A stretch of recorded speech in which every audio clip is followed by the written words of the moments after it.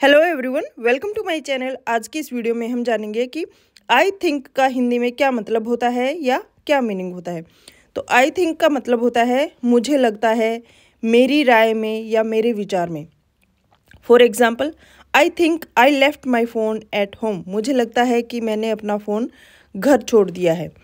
या फिर I think we should take the bus because it's faster than the train मुझे लगता है कि हमें बस लेनी चाहिए क्योंकि यह ट्रेन से तेज़ है।